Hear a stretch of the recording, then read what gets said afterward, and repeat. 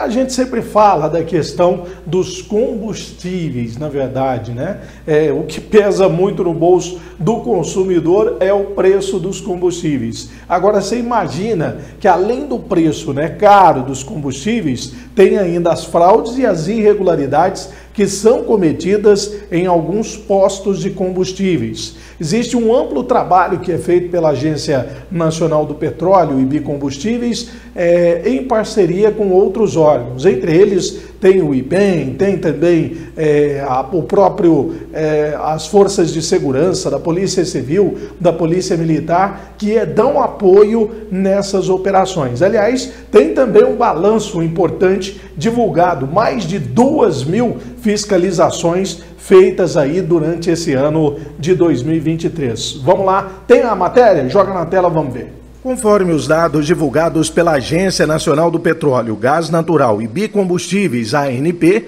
2.245 processos por irregularidades no mercado de combustíveis foram abertos no primeiro semestre deste ano.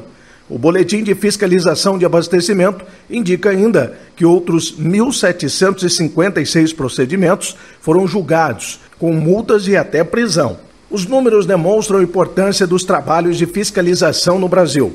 A fiscalização ela acontece em evidências de irregularidades com o objetivo de identificá-las e coibi-las.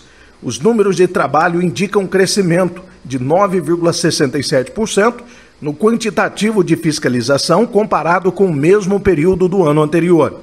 Em 2022, foram 9.726 fiscalizações no primeiro semestre. Já neste ano, o número subiu para 10.768 ações. Os trabalhos são realizados pela ANP em parceria com outros órgãos públicos, por meio de acordo de cooperação técnica e operacional.